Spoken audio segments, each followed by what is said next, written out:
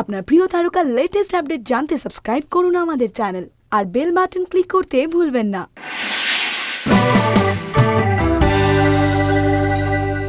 তিতুমির আর ঋতুমির, বাঙালি দর্শক এখনও এই প্যাচের থেকে বেরোতে পারেননি।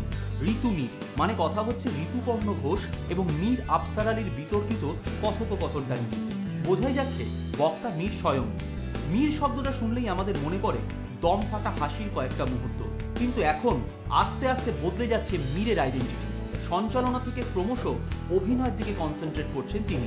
একটার পর একটা ছবিতে নতুন নতুন চরিত্রে মেলে ধরছেন নিজেকে। সেটা কি ঋতুপর্ণ ঘোষকে ভুল প্রমাণ করার জন্যই? ঋতুপর্ণ যে বলেছিলেন, মীর শুধুমাত্র কমেডি করতে পারেন, প্রসঙ্গটা উঠতেই ভীষণ রকম বিরক্ত হয়ে গেলেন মীর। তার কাছে ঋতুপর্ণ ঘোষ বেঁচে থাকবেন তার অসামান্য ছবিগুলোর জন্য, কোনো বিতর্কিত ইন্টারভিউর জন্য নয়। নতুন ছবি মাইকেল নিয়ে ভীষণ উচ্ছ্বসিত মীর এই ছবিতে প্রথমবার সৌমিত্র চট্টোপাধ্যায়ের বিপরীতে তিনি। সৌমিত্র চট্টোপাধ্যায় আবার তার পুরনো স্ক্রিন নেমে ময়ূর বাহন। নামটা শুনলেই তপন সিনহা পরিচালিত ঝিন্দের বন্দির কথা মনে পড়ে। তবে মাইকেলে তার চরিত্রটা একেবারে অন্যরকমের তিনি নেশা করতে ভালোবাসেন, মহিলাদের সঙ্গ করতে ভালোবাসেন। স্যাটায়ারিক্যাল কমেডি ছবি বলা হচ্ছে বটে, তবে মীরের মতে ছবির বেশিরভাগ সময়ই স্যাটায়ার এবং কমেডির সূক্ষ্ম ফারাকটা থাকে না। এই ছবিটা করতে মীর রাজি হয়েছেন মূলত উঠতি পরিচালকের পাশে দাঁড়াতে।